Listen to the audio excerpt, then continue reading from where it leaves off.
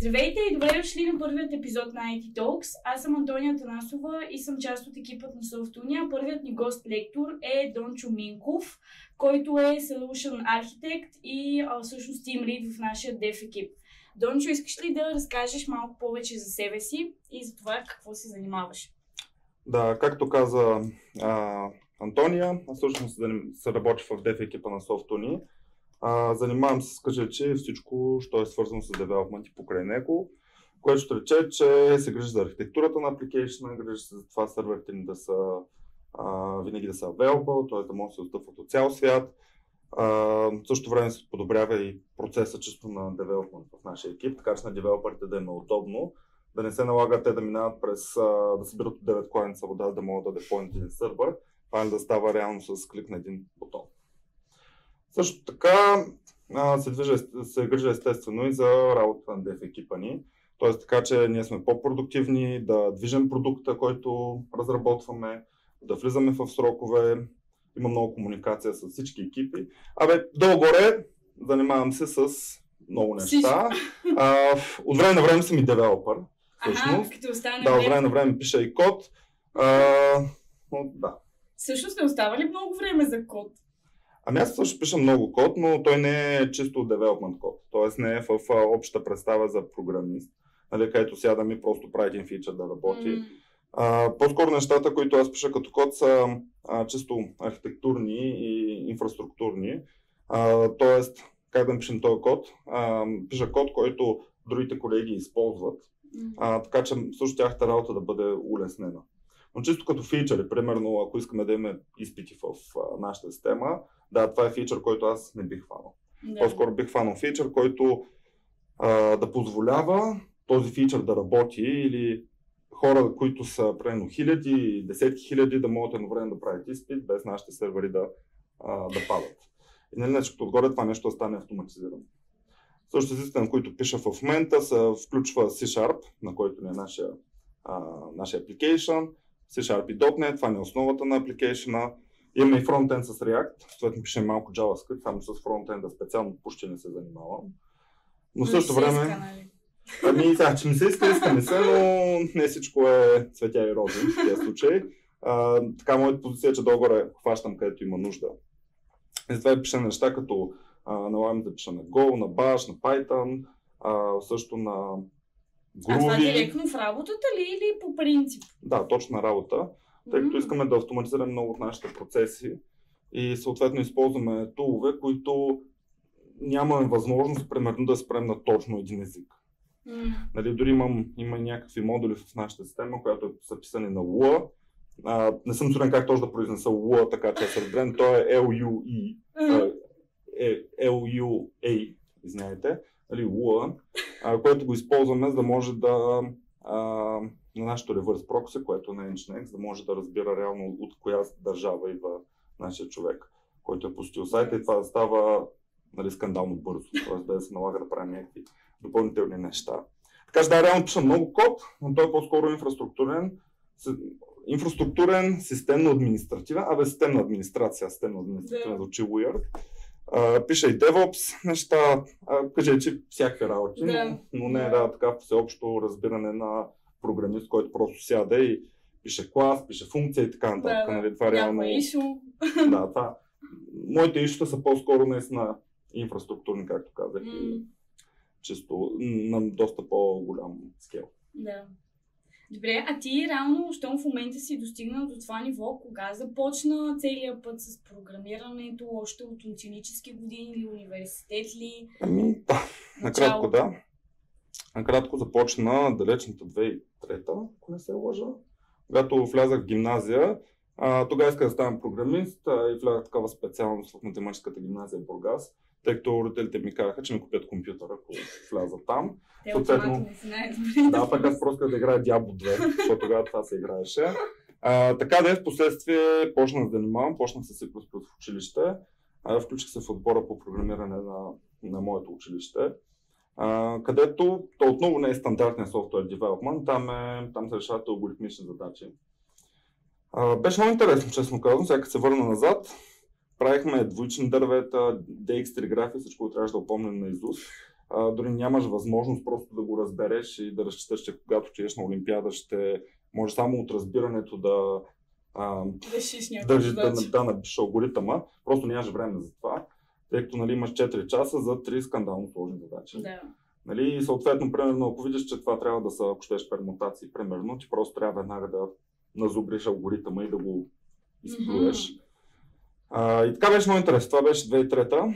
А, занимава се колко? 4-5 години бях в отбора, нали, докато завърша на ПМГ. Тоест през цялото време интересът ти се е задържал, докато си учил. Почти да. Смисъл имах една година, която като всеки тинейджър реших, че се занимавам с туризъм. А, Да, между другото, аз съм го решила. Да, имах един такъв момент, а, но слава богу беше кратък. Отидах на Олимпиадата, в двана- когато бях в 12 клас, на Националната Олимпиада и съответно там са задачите ми и с- успя да изкарам оценка в Софийския университет, където нали, ме приеха без изпит. Мгм. И оттам вече продължи. В университета вече запознах с колеги, тогава нямах представа какво е software development. Отидах такъв супер на хака, не ме приеха без изпит. Да, А, много разбирам. много разбирам, оказа се, че нищо не разбирам. нали, да, знаех и ни алгоритми, но и ни голи алгоритми реално Да. не ти носят почти никаква, никаква стойност. И така там вече почнах да разбирам какво е Actual Software Development. А, след това записах една академия, където ми преподаваше Наков. Започнах работа там като technical trainer.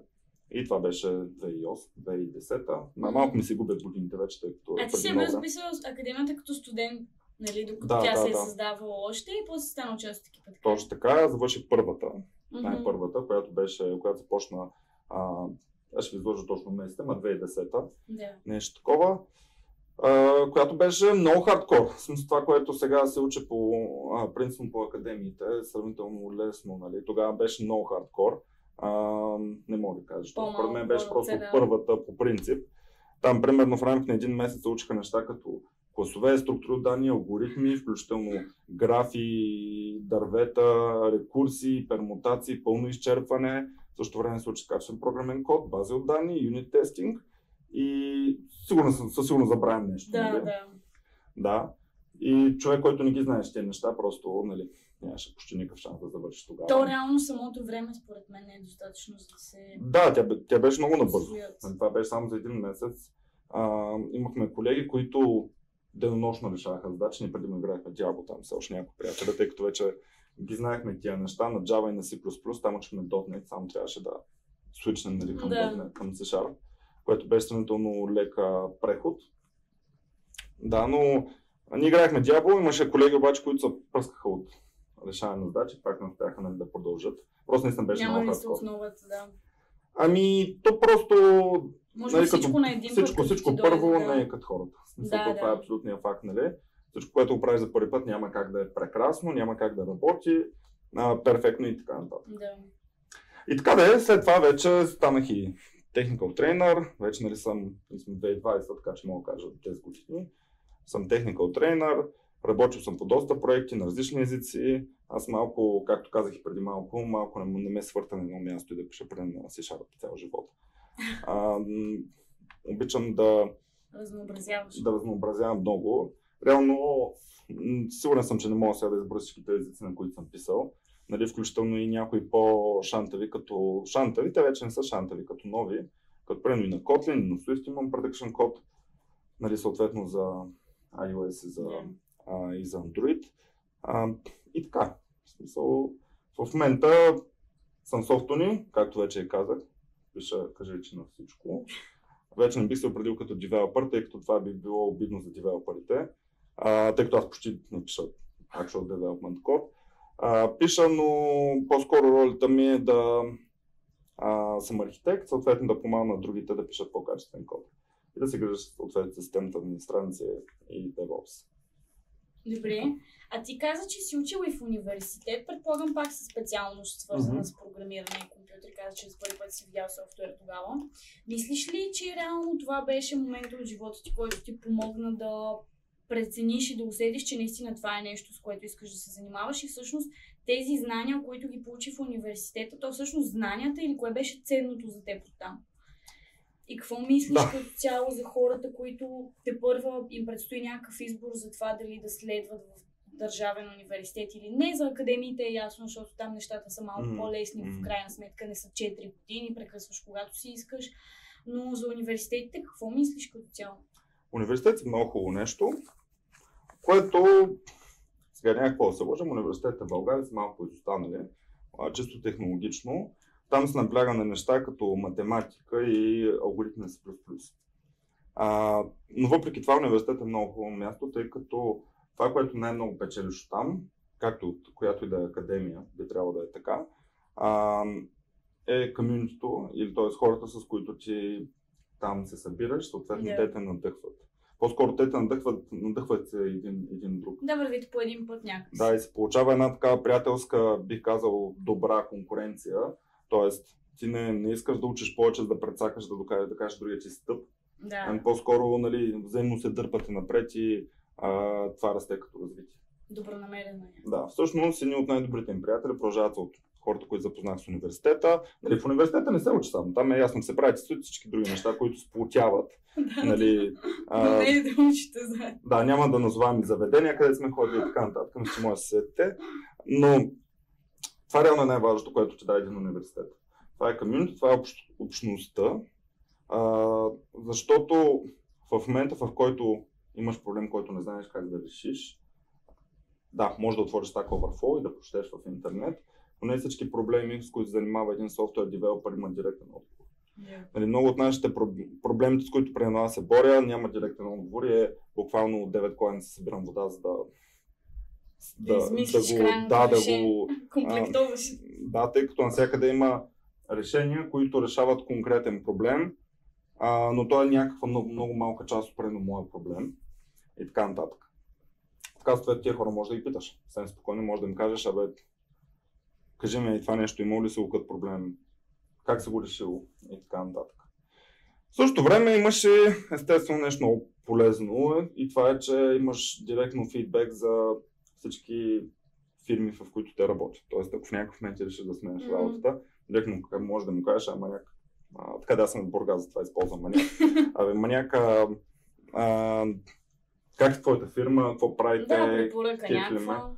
Да, за да То можеш да като цяло и целият опит, нали, дори да не търсиш нещо конкретно, М. което го споделяте, пак е полезен по някакъв Да. начин. Това според мен не е важно на университета. Сега, относно знания, в Държавния университет, аз съм учил в Софийския университет, в МИ, софтуерно инженерство. Там се учат много хубави неща. Вярно е, там се учи много математика, много алгоритми, много полезни неща. Проблема е, че те са в много раден стейт на развитието един софтуерен инженер.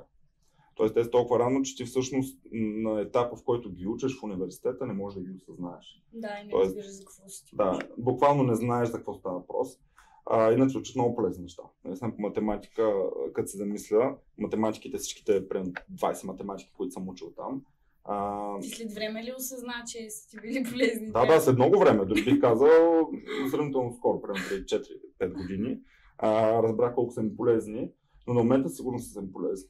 Което Да. нали, е един такъв проблем, който държавните университети имат, тъй като най-важното нещо за един човек да се учи, е той да вижда смисъл в това, което учи.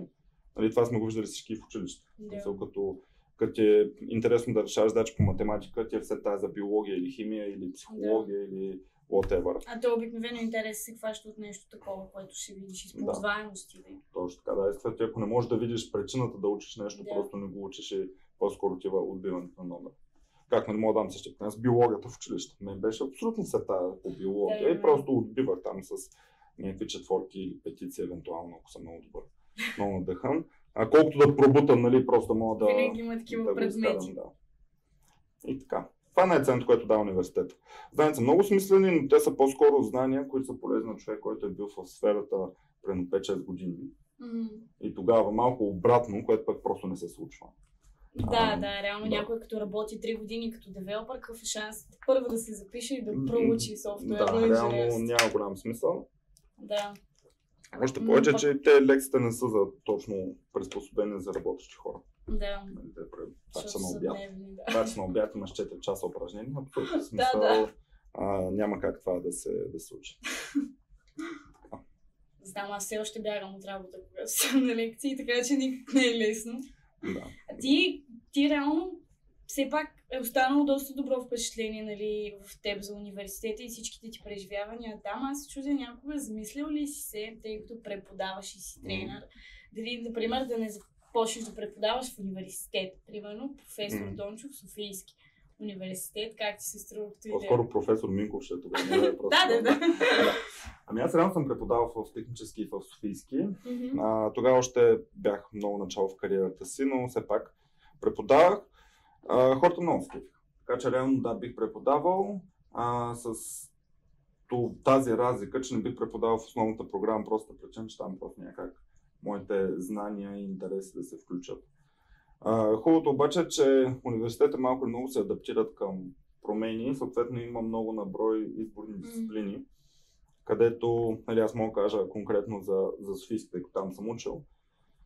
Там има неща като, а, примерно, iOS Development, системна администрация, която е допълнителна. Имаш, ако щете, PHP-та и Python или whatever. Са много такива допълнителни курсове, които yeah. са свободно избираеми. Там бих преподавал. Да. Това е много готино с свободните курсове. Аз мисля, че поне в другите университети не съм виждала, но в ФМИ виждам доста такива. И в технически има също. А в... А, забелязал ли си някаква разлика между студентите, хората, които ходят на тези лекции, защото, например, аз, когато съм на университет и видя някой преподавател, който преподава по съвременен начин, е готин и показва, нали, който преподава добре просто, аз страшно много се впечатлявам, обаче, примерно, като го видя, то най-вероятно, ако го видят този същия човек, например, тук в Софтуни, на фона на това, че всички тук са по-усъвременени преподаватели, няма да ми направи чак такова впечатление. Да. Това го усетих много силно, защото, например, аз когато водя лекции тук, в смисъл, респонса винаги е някакъв супер нормален. Не съм най-брилянтния а, презентатор mm. на света и всичко е, нали, така нататък, но в университета, когато съм заставала пред хора, то са аплодисменти, поздравления. Смисъл някакси има значение, mm. може би, къде го правиш цялото нещо. Поне ми беше много готино след лекция там, защото толкова похвали не Реално има разлика. Реално сега има разлика, няма как да няма. А, в университета на изборните дисциплини, където водят хора, които не са на щата, така да се каже, в университета, а, те са много добри. В общия случай са много добри. А, на преподавателите, които са там на място, има известен проблем, че да, смисъл не се използват, а, как кажа, някакви модерни, ако щеш, а, пособи за презентиране, не знам дори как да го кажа.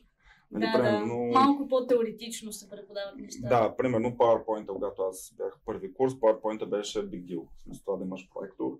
Нали, съответно с а, Наков, тъй като ни преподахме после, в началото с а, Светлин Наков, а, се борихме да, им, да се осигурим проектор. Нали, съответно си, водихме, си носихме проектор от работа. Тоест от офиса взимахме един проектор, имахме си раница, в която ние знаем, че който от нас има лекция, трябва да вземе този проектор Това и да отиде. Това в Софийски ли? Да. Да, за лекция в Софийски. И аз тогава нямах кое, това беше ужасно, защото се качвам по някакъв градски транспорт или с таксита. Да, и съм с две раници, една там, която ми е лаптопа и друга, която ми е проектора, тъй като няма как да ги поберат двете на едно място.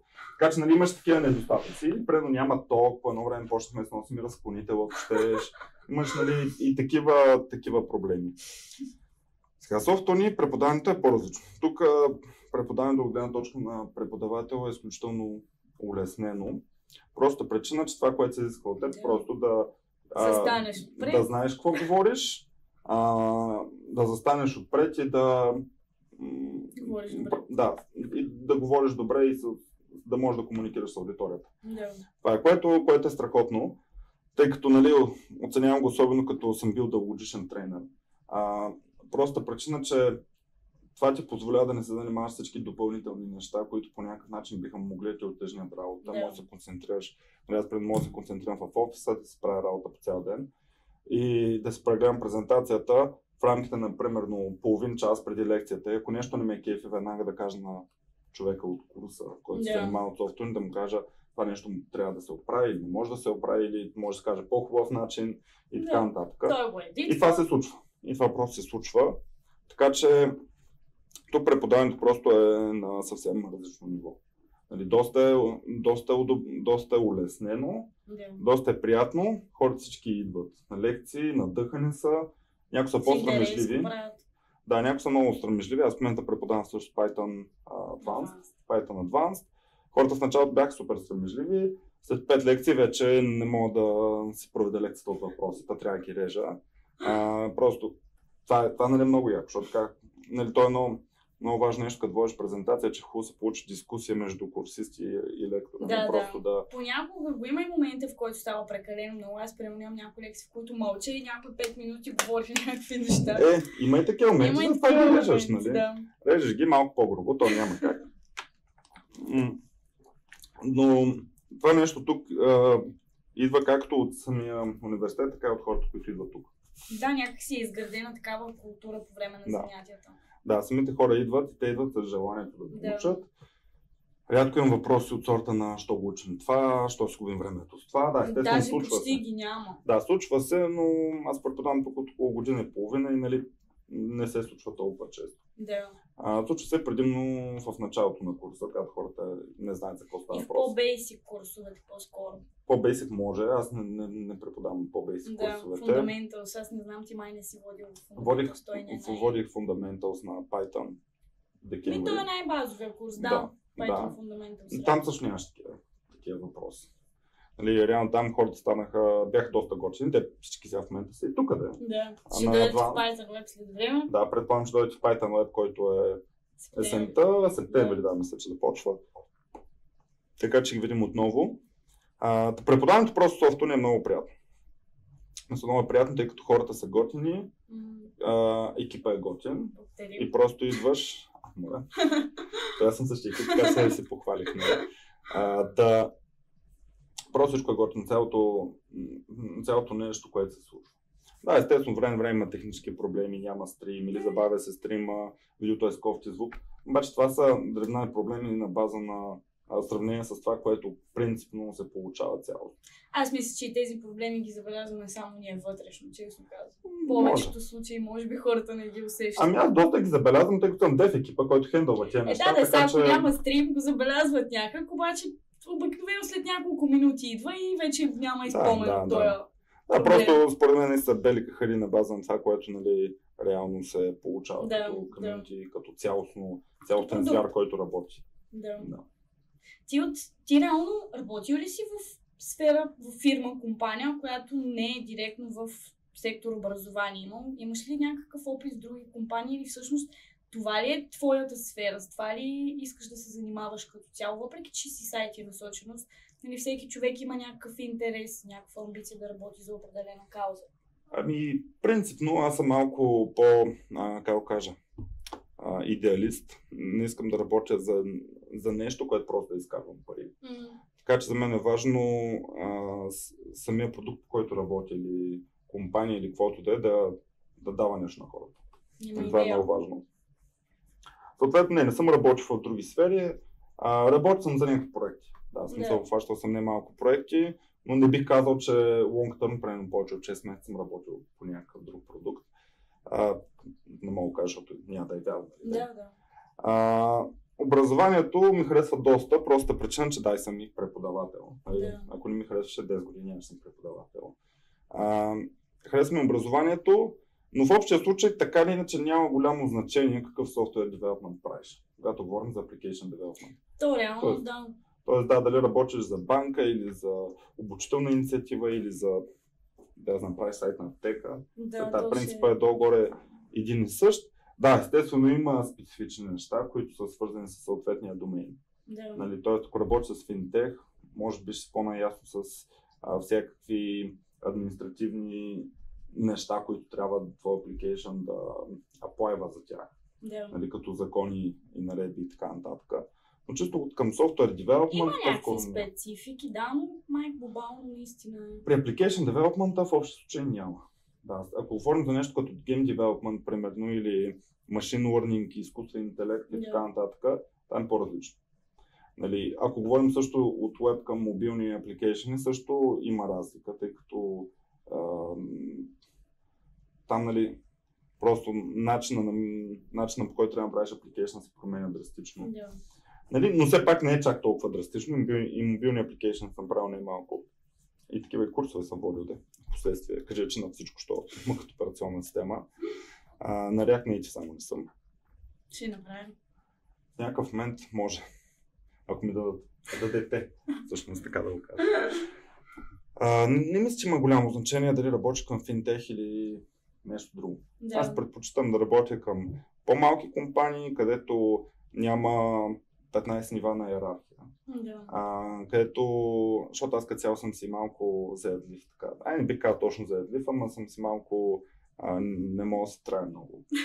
И съответно, когато има много нива на иерархия, това по някакъв начин а, ми Затова спъва цял, цялата работа. Да. Мгм. А, затова предпочитам по-малки компании, които имат, кои- които имат някаква цел.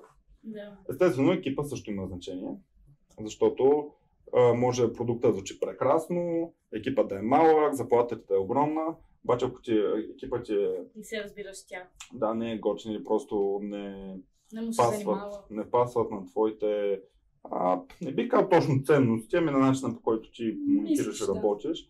Да, също не би казал, че а, бих работил там. Да, екипа е едно от най-важните неща, според мен, всъщност. Ами важно е, да, важно е, но има и други важни неща. Нали, те са няколко. В смисъл трябва да имаш собствено развитие. Това е, би казал, също е страшно важно. Което може би до голяма степен зависи от теб самия. Ами, да. Аз не мисля, Обаче- че толкова компанията. В смисъл не трябва компанията да те потиква да се развиваш личностно, защото това Така. е реално нещо в теб.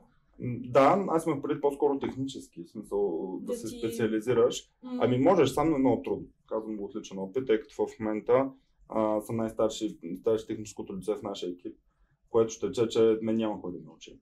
да, да. буквално. Така че аз трябва да мисля начините по които да се развивам. А, И като може това, би сам в повечето случаи. да, като това все пак трябва да е в алаймент с продукта, тъй като не мога просто рандомно да почне да се прави някакви Да, допълнителни неща, нали, да се уча и да, си да, и да вкарам някаква комплексити излишно на продукта, само и само да науча някакви неща. Така че да, и сам можеш да се учиш, до голяма степен зависи от теб, но винаги е по-лесно, ако има някой, на който може да ще, да те учи. Да. Нали, съответно и това е много важно. Дори бих казал, че това е от най-важните неща, когато си джуниор и започваш някъде. Тоест трябва да си такава среда, където без, без да се притесняваш, трябва да можеш да задаваш въпроси, хората ти ги обяснят. Може, може да се дразнят, това е съвсем нормално. Нали? Смисъл, ако, ако питаш прекалено много, ще се дразнят със Да, сигурност. сега няма да е през 5 Нали? минути. Да, а, но въпросът е дразненето на страна, това минава в някакъв момент, в който се понаучиш. А, важното е обаче да си в така среда, където не просто те оставя ти давай, действай и имаш неопределен примерно срок да свършиш нещо, когато го свършиш. Да. Нали, това в общия случай не е добре за прохождащ програмист, тъй като така може да се е създаде и малко грешна представа. депресиращо, май. Да Ти кажеш, правя си Някои хора сам, се кефят. ти код не си виждал като хората. Ами има и преди, че хората, които те първо започват, те не знаят точно какво да очакват. Да. И това го има, тъй като докато не почнеш работа в конкретна, на конкретно място, наистина не знаеш какво да очакваш. А, може всъщност те да си мислят, че това е напълно окей. Нали, Защото все пак влизаш, ти си джуниор или стажант или така нататък. Може да си мисля, че това е the way Еми, to go. да, трябва да. да се започне от някъде. Да, според мен не е това the way to go. Според мен джуниорите трябва да задават страшно много въпроси. Да, да. А, то, това са ми на мен така ми мерилата, ако щеш на а, иерархия. Не иерархия, ми абе, junior, middle level и senior. М, Нали, трябва да задава въпроси, middle level вече не трябва да задава толкова въпроси. Да, естествено, че задава въпроси, но той вече трябва да може да се оправи сам. Да. А пък синьора трябва да отговаря на тия въпроси. И нали, това, ако имаш трите нива, вече зависимост от компанията, имаш в някои компании, вчера се видях с един приятел в една фирма, имат а, 13 нива на, на програмисти. Нали, На junior, програмисти middle, само. да. А, Е. дори не включвам тук, нали, примерно техника, лидове и... Е, какво са тогава тия 13? Еми, сега не ги помня думите, защото са 13. Джуниор, едно, две, три, Не, четири. не, junior, middle, senior и след senior има още колко става? 10. Нали? Различни видове синьори. А, Ага. нали, за основните три долу-горе това е. Джуниора трябва да пита, Тулмачи, това според мен 15. е, в смисъл със сигурност е тумач. Принципно стандартните са 4. Нали? Да, Тоест, да. Junior, middle level, senior и съответно това имаш вече а, някъде го казват а, принципал, някъде го казват а, technical lead. да. Архитекта е малко по-различно. Той не, архитекта не е точно И се ли води като следващо ниво? Да, но той не е, архитекта не е девелопър. М, Чак толкова. В смисъл, той занимава с други проблеми. Той не пише код. Тоест, ако трябва да се напише някакъв фичър, трябва да се покажат всички курсове на нашия сайт, това не е нещо, което архитекта би направил. Да. Архитекта по-скоро би направил архитектурата на... м, То не това се казва Solutions Architect. А, трябва да направиш архитектурата на application, така че да не ми идва думата на български, да е enablenеш девелоперите. Ми, то дори не е да позволиш, по-скоро да им дадеш начина, да им дадеш Да. начина, по който реално те могат да достъпат тия неща. Така че да, в смисъл архитекта, то всъщност след сеньорите нали, имаш няколко така развития.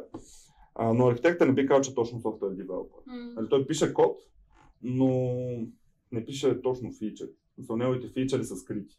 Тоест, примерно, ако а, как да кажа, това, което архитекта прави, не е нещо, което може да се види от нормалния Потребител. потребител. Да. В смисъл, те са скрити за нормалния потребител. Съответно, аз примерно теб не мога да ти кажа, е, това го направих аз на сайта. Да, да, не може.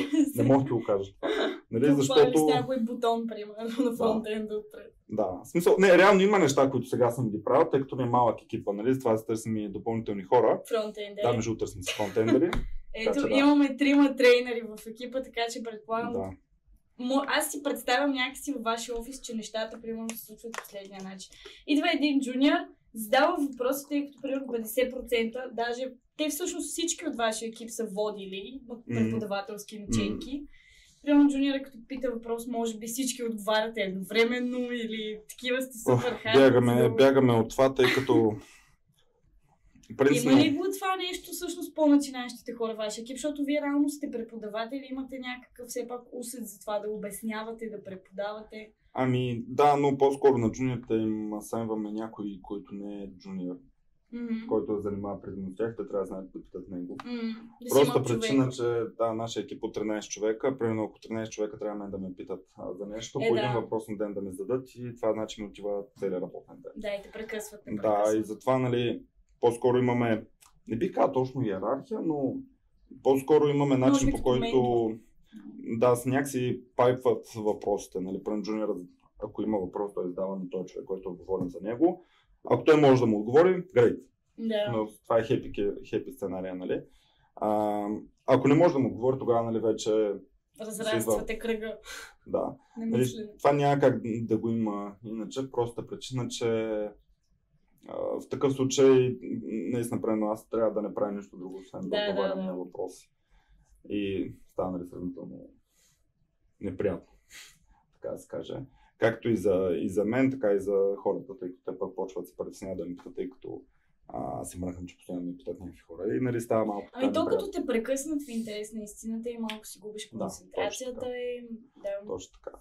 И затова нали, джуниорите трябва да питат, но в една Ментора. нормална фирма, независимо от скела на тази фирма, да, сега ако има трима девелопери и един джуниор, той да, да, там е малко по-различно. Да. Говоря фирма, в която има поне 5-6 човека, трябва да има по някакъв начин менторшип. Да. Тоест да имаш закачен човек, на всеки джуниор да има закачен по един човек, който нали, да знае, че той си му е човек, който го пита. Да. И то вече като правиш планингите, знаеш, че ако на човек Хикс му закачиш джуниор, а,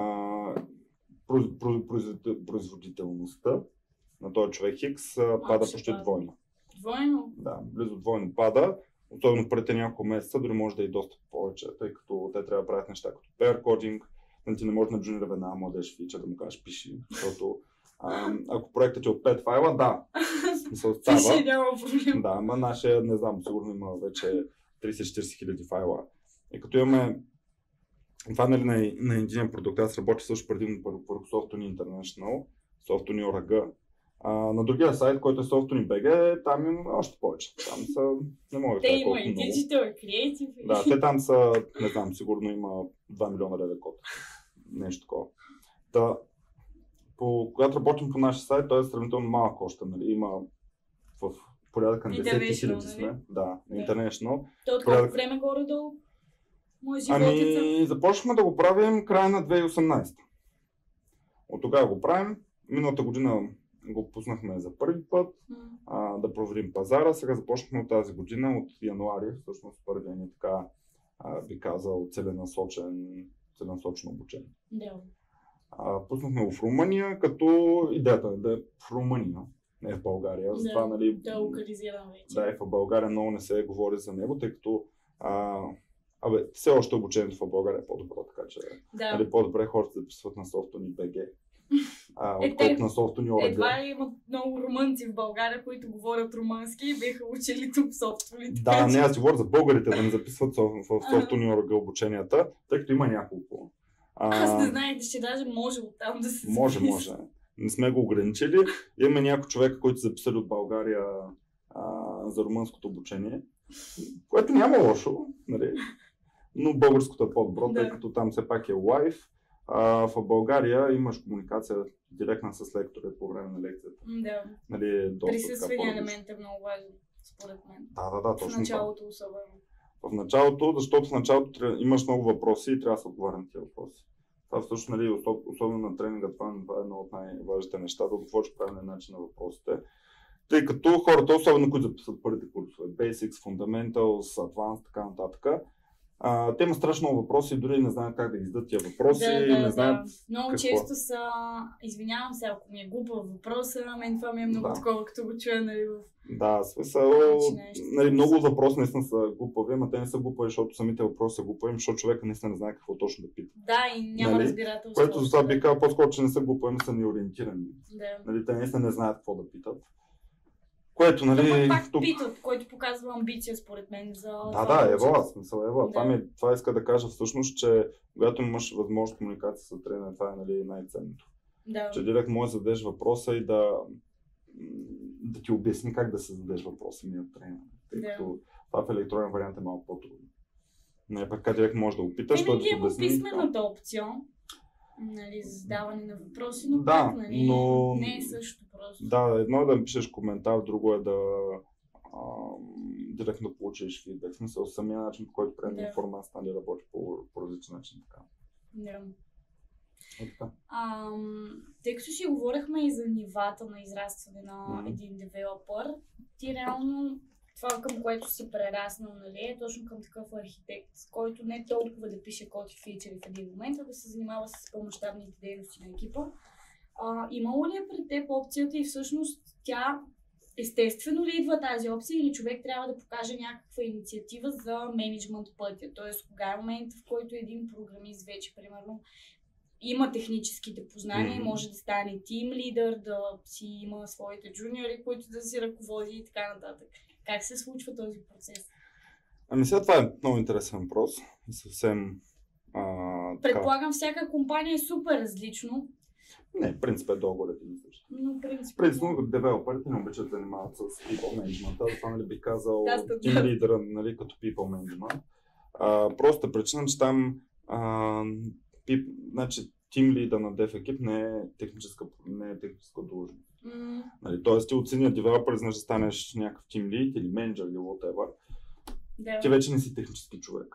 Което ще рече, че ти никакъв код не пишеш. Да, искате да пишеш код, но не можеш да го пишеш. За Съответно това се вече- садваш. Да, нали, да, да. почваш да обещаваш ни фичър, че ще се случат. А, не ти остава време да ги направиш, тъй като там вече комуникацията ти е друга. С, а, и самата ти работа. Тоест там вече трябва да комуникираш с други екипи, измежду екипа, трябва да, Да. седиш за срокове, да пишеш имейли, да, ам, Да следиш хепинеса на екипа ти. да, и така нататък. Да оправиш бюджети и какви ли още не. Нали, така че много програмисти реално не искат да го правят М. това, искат да станат програмисти. Просто причина, че много хора смятат, че това им е малко едно спънка в а, развитието. Просто причина, че ти ако от 3 години си тим лид, после много трудно може да почнеш като девелопер. Което е така. Еми, ти ще си изостанал, да, в някаква... Да, а пък никой не обича, нали, както си има изграден екип, изведнъж да му наемат от някъде, дойде друг човек да му каже, на той ти е шеф, нали, той ти е тим лидер. Да, и това е малко. А, така че, нали, в общия случай това И как преценява човек тогава какво да направи? Хем Ами- не иска друг шеф да дойде, хем не иска, иска пък той Ами да във всички, във всички случаи, а, реално сам си прецениш, когато ти кажат дали искат, искат те повишат примерно в Team Leader, може да си кажеш не, не искам или да, искам. Нали, това е цялостна, цялостната идея. Но това е по-скоро работи, когато говорим за големи компании. Една малка компания, примерно малък дев екип, в случая имам преди не е малка компания, както е нашия, там не бих казал, че примерно аз съм само lead или само архитект. По-скоро си от всичко по-малко. Там вече, когато трябва да решаваш какво искаш да занимаваш, в общия случай трябва да прецениш, както и ти каза, дали искаш да станеш people manager, team leader или менеджер, да искаш да занимаваш с това, дали искаш да станеш някакъв вид technical lead. Тоест, technical lead е малко роля, която по-скоро се вижда в продукта, с, а не с...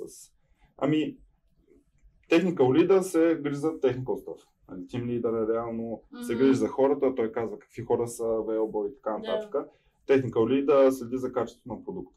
Да. Това е долу-горе идеята. Или съответно може да преминеш в някакво нещо съвсем различно. Нали, както до някъде при мен случай, тъй като когато пишеш software development, долу-горе а, караш в един тунел. Тоест да, знаеш, че пишеш код, това ти е най-важното и така нататък, но това реално изобщо не е най-важното, би казал единственото важно. Yeah. Има много други неща, нали, като системна администрация, DevOps, така нататък. Те по също... ли някакси изкачаха тия неща при теб или? И, аз като цяло съм много любознателен. Mm-hmm. Това, затова съм писал на толкова езици. А, преди има няма 7-8 години сложих Linux, просто защото съм реших, че не мога е, да си позволя да, да не мога да ползвам Linux. И съответно, прено един-два месеца ми мъчи като грешен дявол.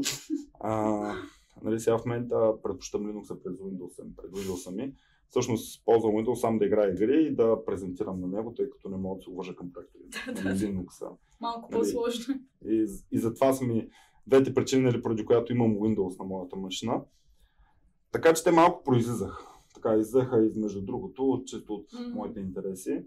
Ам, докато в един момент просто не се наложи да тръгна до някъде по този път.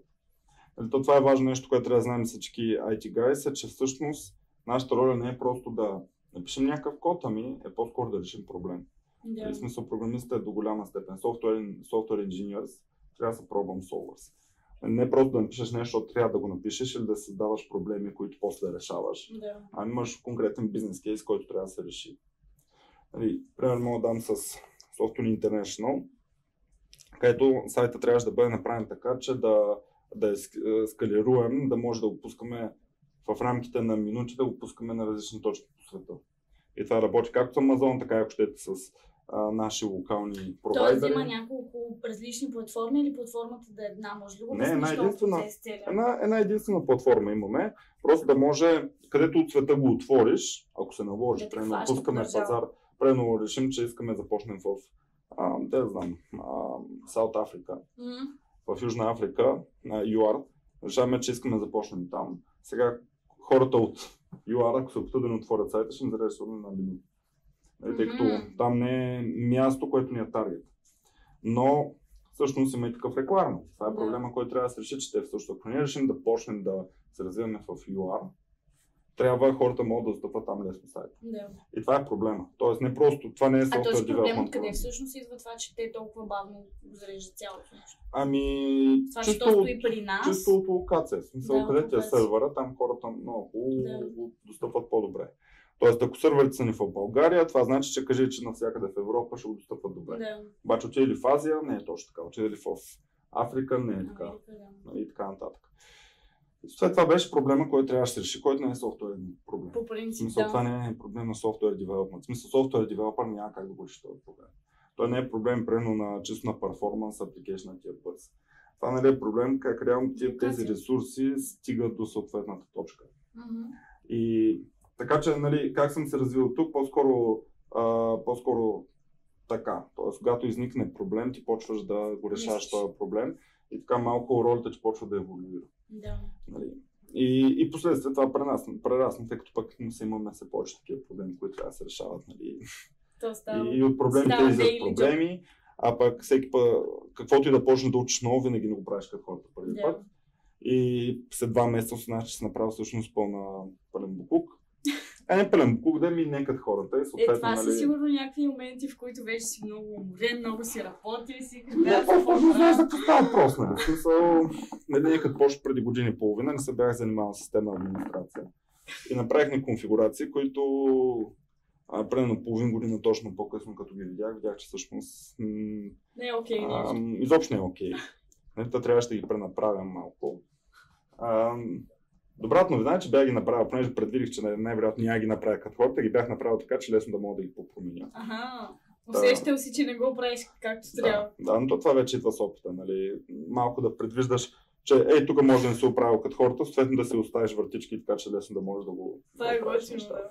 Предвид, че знае, че най-вероятно ти ще си следващия човек, който пак ще влезе там. Той ще си го оправи. Ами да, в смисъл, много важно нещо, много, много важно нещо, което трябва да научи всеки, който прохожда първа е, че не трябва да си, да си, да се влюбваш, така да се каже, в твоя код и твоите фичери. По-скоро да имаш а, да имаш настройката, mm-hmm. че най-вероятно нещата, които си ги направил, не са чак толкова добри. Тъй като нали, в много случаи хората си мислят, е, той е синият девелопър, значи по което пише значи... пари, ако щеш, нали, е перфектно. Yeah. А, това не трябва да се случва. Нали, това е нещо, което и аз постоянно се опитвам да промотирам. Мисля това, че някой е синият девелопър, нищо не значи. Всеки прави грешки. Проблемът дори е, че ако синият девелопър направи грешка, тя ще има много по-голям импакт върху продукта, отколкото yeah. нали, джуниора. Защо? Защото на един джуниор го гледат всички малко в изолирана среда, нали? Смисъл всички да, гледат да, кода. Да, Ако ще ще QA-те му гледат много повече за бъгове, да. от всички страни преглеждат, всичко наред ли е. Така че на нали, джуниор да вкара бъг, почти не се случва. Mm-hmm. Това е много яко. Да. Мисля, те са защитени от всякъде буквално. Еми да, те, това са джуниори. Да, готино. Нали? Докато като си синьор, вече хората малко почват да имат едно, един авторитет към теб и ти казват, бе, той сигурно го е предвидил този сценарий и, и да, така малко да. по-отгоре, отгоре. Това и, нали... към, и от QA случва ли се всъщност? Има ли го този момент, в който, примерно, ти, да кажем, пускаш някакъв фичър и те не изтестват абсолютно цялото нещо, защото разчитат на това, примерно, че ти си по-опитен? Сега, в софтуер не ми се е случва, тъй като постоянно ми повтарям, че не трябва да се случва. Да. Така че софтуер не ми се е случва. А, не ми се е случвало, но преди ми се е случвало, да. Случва ми се просто се приема на как имахме на българска, български израз на... Е доверие ми на права дума или сета. Да. Мисля, въпросът приема, че това нещо работи, това го е писал Дончо, значи сигурно ще работи. Грейт, пускаме го, нали? Също се оказа, че е, има проблеми. Нали, факт е, че в 95% от случаите няма проблеми, но има и 5, да, които са да. много рискови. То реално всичко е възможно все пак. Да. И затова нали, важно нещо, което трябва всеки да, да научи, е, че естествено, че си арогантен да станеш синьор. То няма как, трябва да си арогантен. Така е. Да, това трябва... идва с позицията. Ми, с опита, то си идва с опита. В смисъл, знаеш, че нещата, които ги правиш, са правилни. Ага. Мисъл, няма как да, да го нямаш това, тъй като Особено като се брат няколко синьора, всеки има различна гледна точка. То война не става ли тогава, като всички са? Чак война не, но да кажем малко по-ожесточени спорове. Да. Това може би ще е забавно. Да. А, и затова не трябва да имаш арогантността да можеш да защитиш, ако, ако продължаваш да си прав, да защитиш а, решението. Mm-hmm. Това, това е важно. Но трябва да си напълно окей, okay, ако не си прав. Знам как да го кажа. Да приемаш, да, че примерно да. наистина, ако чисто технологично твоето предложение не е най-доброто. Да. Не трябва заради позицията и... си да го налагаш. Точно така. И затова винаги трябва да ставаш въртички, така че ако а, за нещо, дори да имаш и малко а, несигурност, mm. че не е баш като хората, трябва да оставиш въртичка, така че лесно да можеш да го правиш по-нататък. Сега, това нещо се учи с времето, като мине много код пред ръцете. Така че дори не мога да го обясня как то ще се случва. Но да, аз ми започва да получаваш един гът филинг, такова като шесто чувство, че ей тук може би нещо не е като хората и съответно а, не можеш да видиш да разбереш защо да. не е като хората. Според теб е напълно като хората, според всички е напълно като хората, но ти го усещаш някакси. Да, и понеже не можеш да бъдеш проблема, някакво yeah. направиш, нали? Смисъл сега, то няма смисъл да търсиш проблем там, където няма. Просто продължава това нещо. А, но, както казах, трябва да ставаш просто въртички. Тоест да, затова имаме и всъщност опит. Аз мисля, че да. още на много начален стадий някакси това чувство се заражда. Той е също от ниво джуниор, защото на мен, примерно, много често ми се случва, като пиша нещо, някакси да усещам, че не го пиша по най-добрия възможен начин. И стандартно това, което правех преди, докато не усетих, че не е правилно, е преди да започна да решавам някакъв проблем, да се опитам да го реша по възможно най-перфектния начин, така че наистина да искам това нещо, да съм го написала и така да остане. Което в повечето случаи просто не се получаваше, защото аз не, реално ти като тръгнеш да пишеш нещо, което не си измислил напълно, ти идва един момент на объркване, в който просто се нервираш, не се получава, ти искаш умно и красиво, то не става. И в крайна сметка тръгнах с обратен подход, който ми го каза един приятел, нали, който също е програмист. И той ми каза първо да го пиша по някакъв начин, който на момента ми е дошъл и след това да се опитвам да минавам върху него и да го правя по-добре. И при мен това, между другото, сработи много добре. Първо го правя по някакъв по-хамалски начин цялото нещо и после минавам и си го правя, защото вече знам как работи и каква ми е била идеята. То подход Ми- има ли го някакси или... Ами виж сега, то, то винаги... Чуя се как точно да го формулирам. При мен просто Винаги- не се получава от, да започна нещо от нулата и да го напиша по перфектния начин. В смисъл, винаги има преработка Никога не, процес. се, никога не се получава това. Да. Да, смисъл, има, и, има една така, както често срещ, един често срещан а, сценарий, който случва винаги. И то е, че хората, които не са много опитни, се опит, опитват наистина, както, както ти каза, да М. измислят абсолютно перфектния сценарий, който ще... Който най-вероятно не е, нали? Но те според който, техния си опит така го да, който аз обичам да дам един пример с това с а, посаждане на дърво. Нали, Ако посадиш дърво, реално те какво ти трябва? Трябва да изкопаеш една дупка. Нали, говоря се пак за малко Да, да. нали, не говоря за... да. Трябва ти една лопата и един човек, който да изкопае дупка. Това, което по-неопитни хора се, прави, се опитват да направят е едва ли да направят не лопата и човека, ми да изкарат багер, който да изкопае огромна, огромна дупка, в която слагаш това дърво. Нали, това е нещо, което не трябва да случва. И всъщност това е нещо, което а, когато се прави а, планинга на, на някакви а, фичъри или бъгове, които трябва да се и така нататък, е много важно, че трябва да се направи баланс. Тоест, не да се направи в перфектния вариант, защото перфектен вариант няма. То винаги най-вероятно може по-добре. Да, и още повече, че requirements, постоянно изискванията за някакви фичъри винаги се сменят. Нали, не живеем в време, в което нещо го правиш, да се ползва примерно 60 Да, години и не се променя. Съответно, трябва да се мисли най-практичния вариант. Това не би го писал като практичен. Тоест такъв, който хем е написан окей, може да не е най-прекрасната имплементация. М. Това не е чак толкова важно. Защо? Защото за да направиш чак перфектната имплементация, може да ти отнеме примерно 3 седмици, докато ако напишеш окей имплементация, може да отнеме 3 дена. И, и в същото време, в тези сценарии е по-добре да направиш имплементация за 3 дена или човек с лопатата, защото ще правиш едно дърво. Ако вече имаш нужда от да, да, примерно, да засадиш 50 дървета, ме тогава вече взимаш багера нали, и правиш, и Да. правиш много дупки. Нали, този баланс трябва да го има, простата причина, че няма как да направиш всичко да е перфектно. Нали, примерно е абсолютно забранено в нашия екип. Ти просто както си гледаш кода и примерно дебъгваш в някакви фичери, трябва да направиш нещо, има някакъв бъг и трябва да, а, да намериш проблема и минаваш през 10 000 файла. Нали. Примерно. Ай, 10 000, има 10 Но файла. Търсиш си, да. Минаваш 10 файла и виждаш някой файл. А, е, това не ма кефи. Изобщо не е обързано с твоя сценарий. Просто това не ме кефи и почваш да го правиш. Добре. Това е забранено. Това е забранено, това не трябва да се случва. Защо? А, защото това нещо прецаква изцяло неща като планинг, история Мгм. и всичко.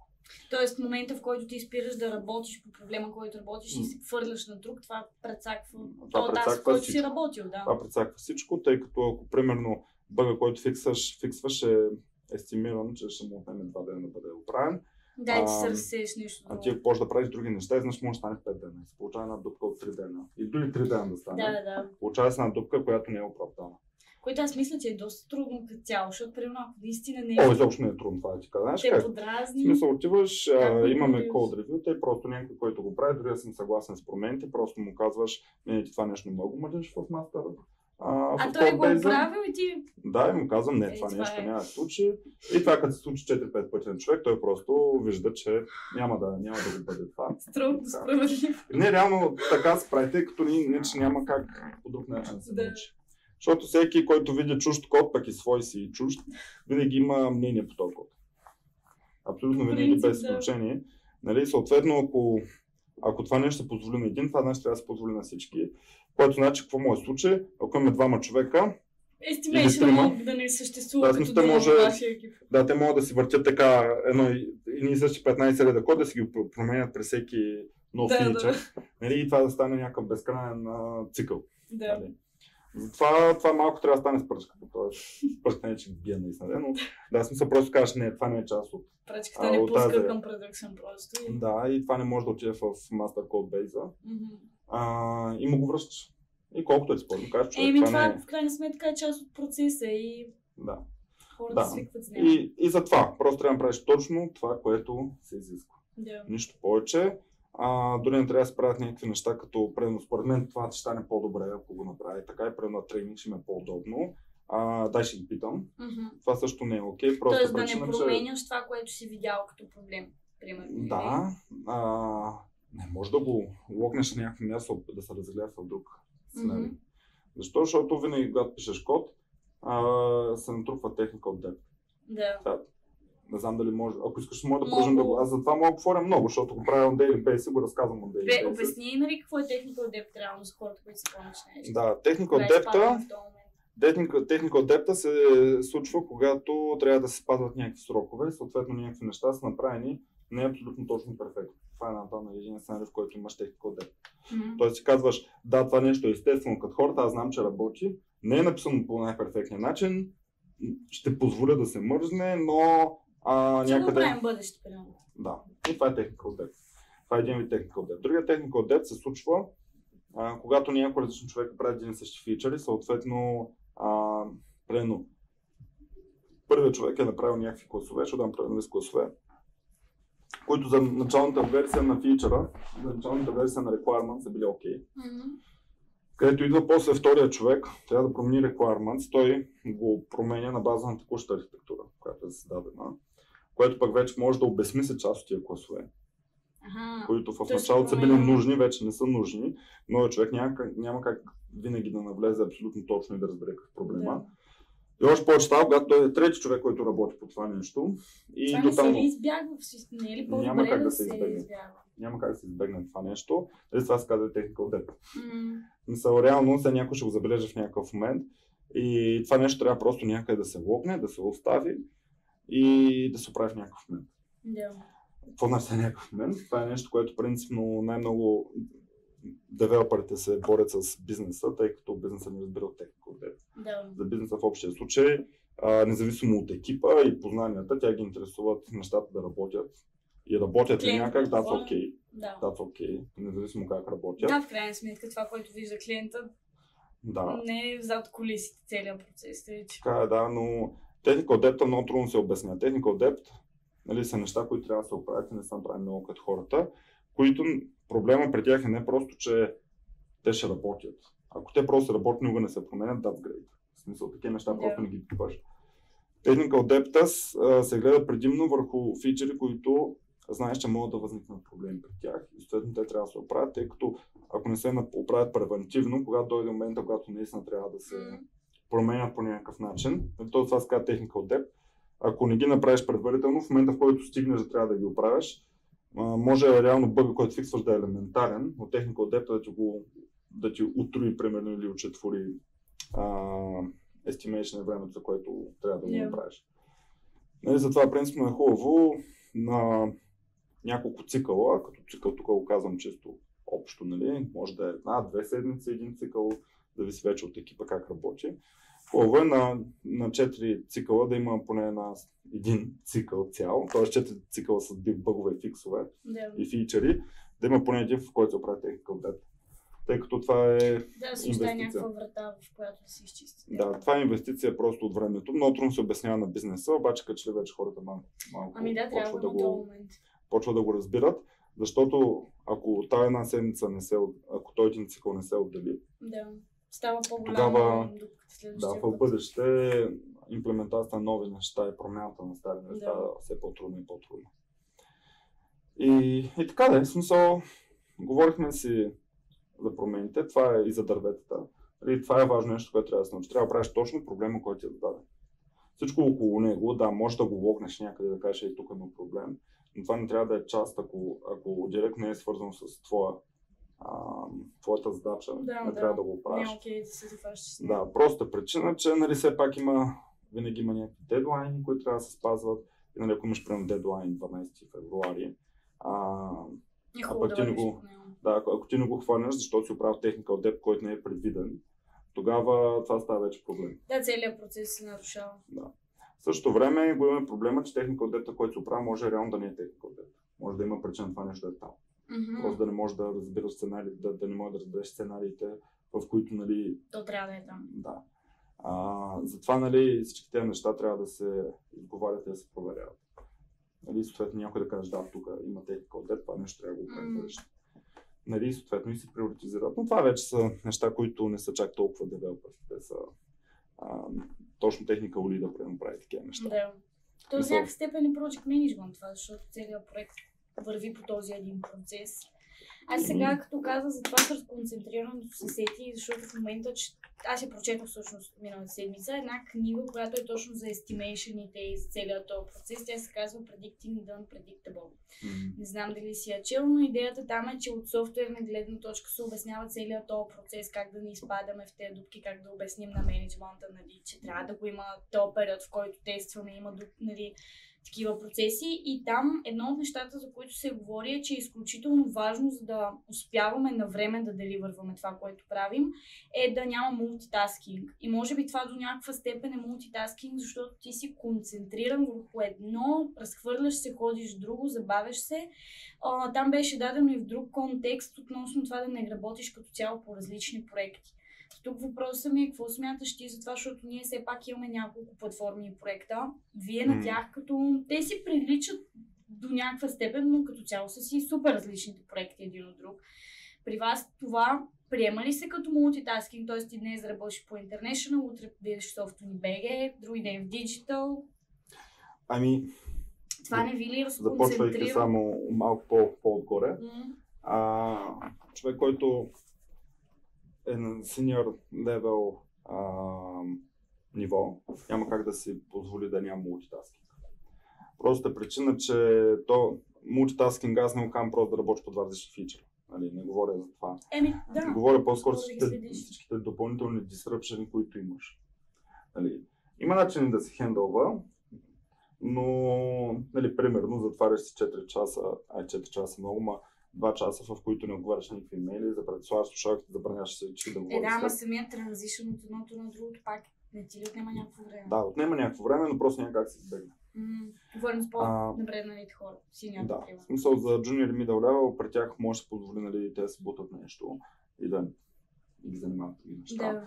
Но в момента, в който станеш синьор, аз как казах преди малко, твоята работа е да отговаряш на въпроси и, да, да взимаш решения. Съответно Мгм. няма как нали, просто да правиш едно нещо и да си в тунела и да.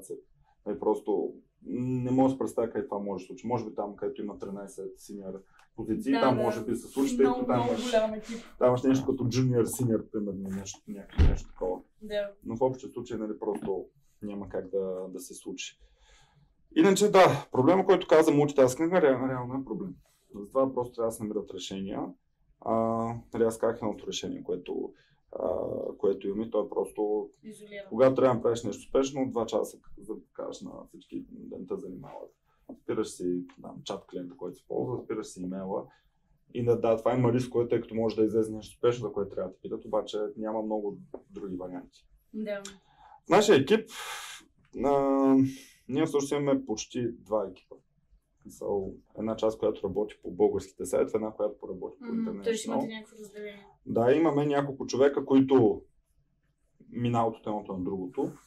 Те не са един ден едното, един ден на другото. Това не работи. Да. Просто няма как да стане. Това по-скоро са на цикли. На цикли. Мгм. Тоест, две седмици работиш примерно по българските системи, после две седмици работиш по другите. Това е Нали, лошо. трябва, трябва да довършиш фичерите, тъй като освен ако не е нещо urgent, нали, сега за такива неща, Да. естествено. Ако има някакъв сериозен бък, нали, Всички се втурват, примерно, или? е всички не, но конкретният човек, който може да помогне, нали, се пренасочва. Но в общия случай е така, в смисъл няма как да е от ден с ден. Мгм. Това наистина не работи. А, трябва да имаш някаква, някакво време, което ти знаеш, че спокойно можеш да се концентрираш върху тази система. Най-малкото, ако е, нали, което не трябва да пък е много дълго, примерно върви да е на 6 месеца, тъй като на 6 месеца, ако през 6 месеца минаваш от система на система, това значи, че как се работи по система Хикс, след 6 месеца се връщаш пак на Хикс и няма помниш нищо забравил. за Хикс. Да, Хикса, какво се Да, случва? съответно тия цикли трябва да са сравнително малки, нали, в общия случай са 2-3 седмици. Да. А При нас принтовете са 2 седмици, така че ако има нужда от такова Това е нещо. нормалният период, 2-3. Ами, Е, да, в смисъл е то спрямо, спрямо Agile, нали, е вече Agile. Тоест, Да. принципно спринта трябва да деливърнеш някакви фичери до края на спринта. М, Като ако не можеш да деливърна тия фичери, просто спринта се увеличава и става 3 седмици. Да. Нали, то, това е и Agile. Ако слагаш две седмици, но те- то почти винаги е примерно две седмици и два дена. Да. Нали, някакъв път 4 до 4 седмици. Зависи. Така че зависи прави, нали, да. какви фичери трябва да се направят. И, и така да е. Супер. Добре. Още последен един въпрос и ще се ориентираме към приключване, защото доста време Мгм. вече си говорим. Ти спомена няколко пъти как си играл от малък игри, после каза, че все още си играеш игри. Това ли всъщност обичаш да правиш през свободното си време и как се разтоварваш по някакъв начин? Предполагам, че след работа не сядаш пак да програмираш или да се занимаваш с някакви такива неща. правя различни неща. Смисъл, аз реално чета много техническа документация, а, тъй като просто времето на работа не ми стига да правя това. М, Така че да, чете доста технически неща. Да седна да програмирам, не бих казал. нали? Но да, сигурно се проучвам някакви неща, но нали, отново казвам, ролята на архитект не е точно програмиране, т.е. по-скоро нещата са отгоре. Т.е. програмирането е нещо тривиално, което просто трябва да се случи. Да, така че има доста теория, М, която трябва да се осмисли. Това е едното. Чета реално мисля сравнително а, така много. Гледам да чета поне по час и половина на всеки ден. А, независимо от състоянието, колко съм морен, дали съм пиян или, или whatever. Смисъл, нали, случва ми се е да се прибера, да се прибера и в 4 часа. А, Или да четеш. еми, ако не съм си направил часа и половина, да. Така че е да. много яко. Аз като Ами- се прибрала по-късно и някакси го скипвам, между защото и аз чета И сега така, това въпрос е дали си в състояние. Някой път, като се правиш по-късно, не си в състояние. Да, нали? да. Трябва да се наваксаш. То няма много смисъл да го правиш тогава, май. Да. Но принципно това е един вариант. А, обичам да пътувам. Почти всеки уикенд с приятелката сме, ми сме някъде. А, сега зимата по-не, защото е гадно. Времето да е малко повече. Да. Така че ходим по, по всякакви места. А, и обичам да играя игри. Само, че игрането на игри там е малко по-специално, тъй като за разлика от предно четенето, което нали, аз чета по цял ден. Тоест, мога да изляза, взема кафе, докато пия кафе, да прочета 10 минути. М, А, нали, малки да, час и половина не е Задължително, да е една дупка, да. Докато игрането на игри изисква малко повече време. Нали, там трябва да им правя някаква дупка от 2 часа, къде да мога да играя. То няма смисъл май да по-малко. Да го влезеш в...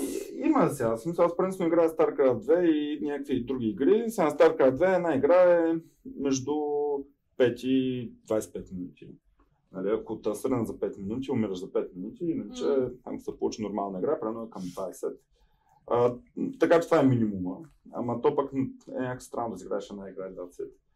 Така че, нали, да, смисъл игрането на игри вече малко повече отива на заден план, просто причина, че изисква много последователно време. да Да. казвам. Тоест, не мога да изиграя една игра и след 3 часа да изиграя още една игра и след още 3 часа да изиграя още Да, една да. игра. Нали? Просто, ако си безработен, сигурно. а, докато четенето на книги, нали, става... Те малко по-отпускащо сякаш, не знам. Еми сега то това вече зависи от, от хората. Мен игрите ме отпускат а, и четенето ме отпуска, ама някой път пък четенето ме натоварва. Игрите ме натоварват.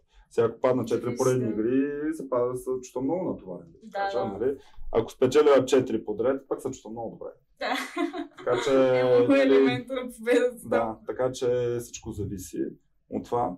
Но долу-горе това са, това са нещата, да, с, които, с които разпускам. Но със сигурност чета и доста технически неща вкъщи, защото просто, а, просто някак. Да. А, някаква допълнителна литература, предполагам, че не чете само технически неща. Ми, аз технически неща не, не е точно като книги, Книга за смисъл аз по-скоро... да, документация, може би имаш предвид. Ами аз чета, да, чета, доста статии предимно. А, не съм от хората, които могат да, да учат от видеа. Аз се опитвам да се разсеявам Да. се много. Това по-скоро чета. А, иначе чета предимно техни, а, тех, техническа, не, а предимно художествена литература. Чета фентази и sci-fi, като всеки стандартен нърд, който има. Така че, да. А, Кои са книгите, книга- които са ти най-така най-сте Ми, впечатлили? Е, миналата година довърших колелото на времето, което беше скандално, тъй като е 14 книги от по 1500 страници. Ага. Нали, всяка книга може да е по като хладно оръжие, да убиеш човек с нея. А, та, това сигурно е най- най-доброто фентези, което съм чел до момента. То, щом си прочел всичките 14, сигурно ти е харесал. Еми, то последните 4 малко назор ги прочетах, защото хем е супер интересно, хем Вече нямам търпение, защото съм прочел 10 преди това. Нали? Човек, това не е ли too much? Смисъл, Еми, много е. 14 книги, Много. каква е тази история? Какво се случва то? Историята е много яка, но а, Ти сигурно ако ти кажеш да я разкажеш, колко време ще разказваш 14 Много време, книги? много Те, последните няколко са по 1500 дори. Да. А, тя е много хубава. Иначе сега в момента чета няколко книги, зависимост от настроението. В момента чета името на вятъра. А, на Патрик Рутвас, ако не се лъжа, беше. А, чета също и Федерацията, тъй като реших, че е време вече да прочета тази Федерация. А, и паралелно почна да чета и Дюн. И прочетах първата на Дюн. Нали, някакси трябва да, е, да се прочитат тия книги, защото хората много ги хвалят, има причина за това. Те реално не са много яки. И аз винаги имам такива книги, Просто- които виждам, че хората ги четат, хваляли са. Трябва да има причина, поне Да. ако не те кефят, трябва да знаеш защо не те кефят. Но просто като видиш Дюн, която са три книги, които отново са и такива и винаги са дебели корици, М, и малко м, изпитваш страх да ги почнеш, защото знаеш, че ако почнеш ли го това, трябва да го четеш Да. а, супер много време. А те са е много ретро. А те са много ретро, нали?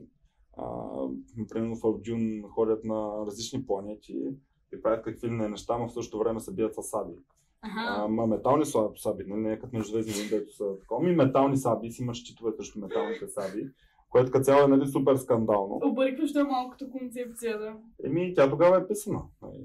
Тя, когато е писана Дюн, той е също междузвездни войни, нали, цялата идея за а, New Hope, четвъртия на междузвездни войни, също е дошла а, точно от Дюн. Ага. Защото там има пласт, пясъчна планета и всички тези неща. Няма взаимства. Да. То филма реално по книгата ли? Или Кой? просто си открил е някакви идеи? Да. Не, не, не, няма нищо общо с Нищо, книгата. Просто си смисъл, просто Лукас като е чел Дюн и тогава му е дошла идеята за междузвездни войни. Това е в смисъл, иначе няма нищо друго общо. Нали, Той това да се оказа в а, сумати интервюта, да. Така че с много я книги, но предимно това е. А, фан фентази, sci-fi. По-просто да чета и някакви романи, само че ми са малко по а, трудни. Те са по-концентрирани, тъй като фентази в общия случай е нещо, което не съм мога да прочета за 15 минути на даци. Ако Не да си четеш... развива въображението, според не знам креативността. Аз мисля, че го има този момент при фентазито. м, Не знам, той е много тъпи фентази, често казвам. В принцип, Аз съм чел някои доста тъпи. А, особено като малък. Но, както да е. Така е, въпросът е, че мога ги чета на 15 минути. Смисъл няма чак толкова нужда да а, навлизаш вътре. да. Докато почнеш да четеш на класика, нали, там ако четеш по през 15 минути, реално е, обезмисля всичко. Да. Нали, отново... Ти не мога да влезеш в контекста за тия 15. Да, и точно отново ми трябва примерно 2 часа, в които само да чета, което ми чупи цялата концепция за четене. Да, между другото. Аз затова винаги, защото примерно сега чета една книга, която е Thinking Fast and Slow и тя е психология. И като цяло някакси е от тия четива, които са по-тежки, трябва ми по-голямо слот от време. Трябва да съм починала задължително за да защото нищо не схващам от това, което чета. Или предвид, че и на английски има и някаква терминология, свързана с психологията. И винаги, когато чета някаква такава по-тежка книга, си имам една по-лека и в зависимост от това как се чувствам, чета едната или другата. В смисъл, аз винаги чета две-три неща едновременно. Не, да, що може да ги четеш тия психологически неща. Аз колкото съм прочел, толкова съм се разочаровал. Насякъде ти казват как да станеш най-добре, най-печения, но той не от тях Има работи. го малко този елемент Така на че- взаимопомощ, но Аз доста такива книги съм чел, преди не ги помня имената. Не, те някой много си помня. приличат повече, Помня честно там. казвам. Много хвалени, като беше... А, какво беше? Чакай, че забравих. Едни навици имаше. Седемте навика на успешните хора. Да, Аз много я харесвам И тази книга. по-следващия булшит, който беше осмия навик. Да, осме навик не А. е толкова нали? Което реално за какво сте навика, като ще има 8. Нали? А, и всякакви там. Има една, която ми харесва, с казва Five Levels of Leadership, но не самата книга, ами по-скоро а, идеите за нея. Самата книга е прекалено разтягане на уко ми, защото Да. случай на такива книги по мое мнение, нещо, което може малко да напишеш в статия, да, О, в статия да. се прави в а, примерно 500 Да. страници, защото трябва да се продаде.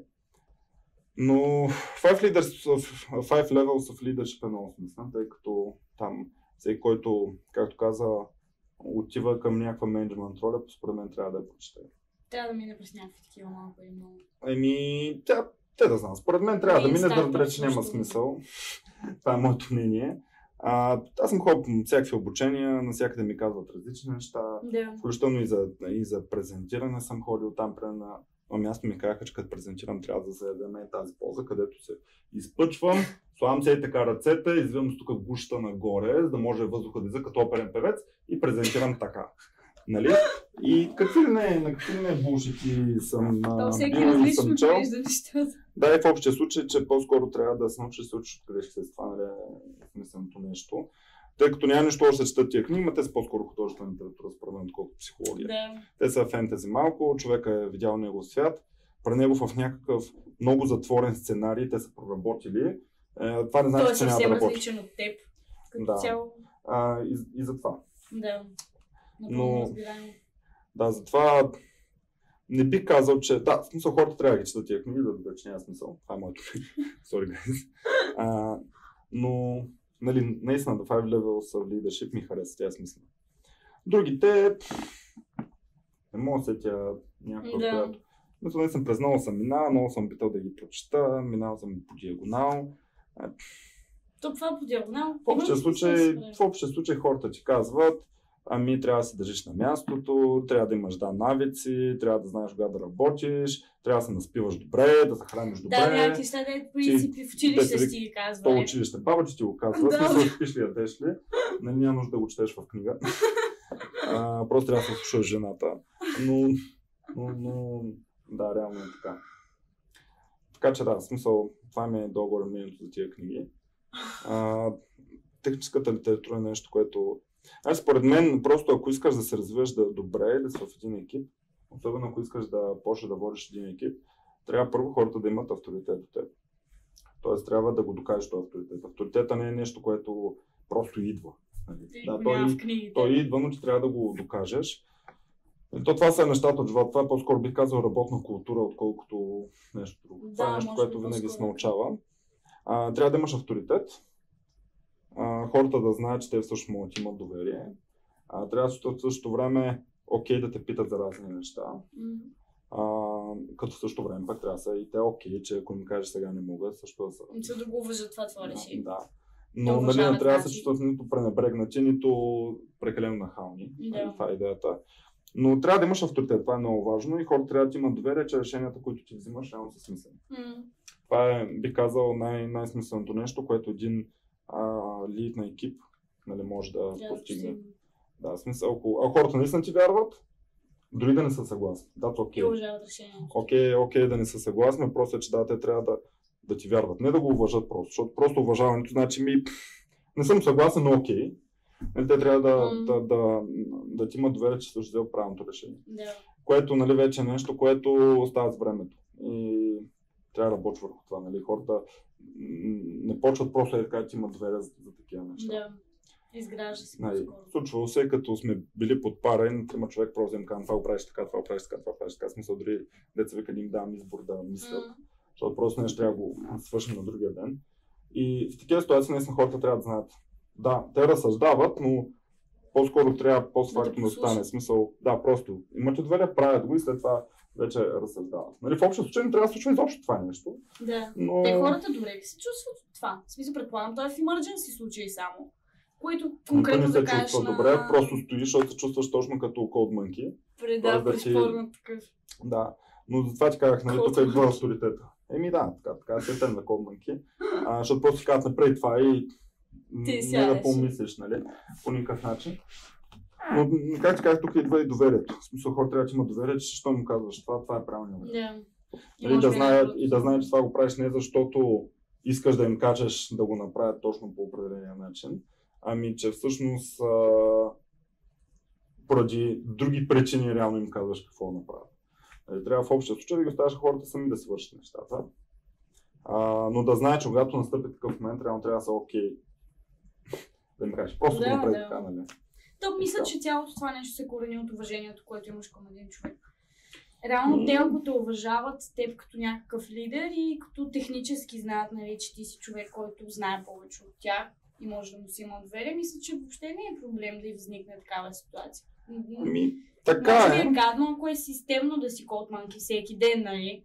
Но при някакви наистина изключаеми случаи, Така е, но уважението е само една част. Уважението принципно идва най в началото. А, тъй като, като, като дойде един джуниор в екипа и ти си синьор, той има уважение от теб. м, Нали, смисъл, но уважението и доверието са м, по задълбаваш неща. Нали? Това, Да. това да кажа, че доверието всъщност е най- най-важното нещо, което може да развиеш в а, хората, които ли идваш. Те наистина трябва да имат доверие. Да. Уважение имат. В смисъл, наистина, ако дойде един джуниор ти синьор, ми той просто... Изначално ще има. Да, в смисъл, той просто влиза с доверие. да. Нали? А, но не То е доверие, той ще чисто човешко, ще с влезе с уважение, да. с уважение. Чисто човешко чувство някак, според мен, което с времето се изгражда. Еми да. Но това не са неща, които могат да се прочитат в, книги. Това по-скоро, както Да. казах, е работна култура, която Да. така иначе виждаш. Особено са ми лидове, на които имам абсолютно доверие, не съм лидове, на които просто знам, че не правят нищо като хората. Да. Нали? Надявам се, аз съм бил пър, да съм от първите. Нали? но, но да. Така. Добре, много ти благодаря Благодаря и аз. за дългия и приятен разговор. Ам, за хората, които ни слушаха, благодарим и на вас. Надяваме се да ви е било полезно споделеното и чутото. Съвсем скоро ще обявим и следващият епизод. Лекторът все още е таен, ще бъде изненада. Въпросите си към него ще може да задавате в а, страницата на самото събитие, което ще бъде следващият епизод просто и те ще се дискутират по време на видеото.